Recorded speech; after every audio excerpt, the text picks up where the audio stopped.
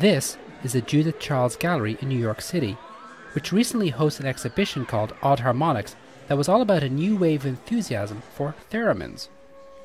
Created in the 1920s by Leon Theremin, this musical instrument is played by moving your hands in front of two antennas that control pitch and volume. Now it's being reinvented as a 21st century art object by Francois Chambard, a New York based designer.